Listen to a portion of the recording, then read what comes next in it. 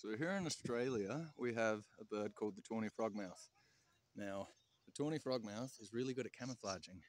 So it generally doesn't move if you get very close to it. As you can see, there's sitting one right here. Now, if they're sitting there at night and you come out for a piss or that sort of thing, it will just look like a stump on the tree. But as you can see, he doesn't care too much about me because he thinks he is invisible.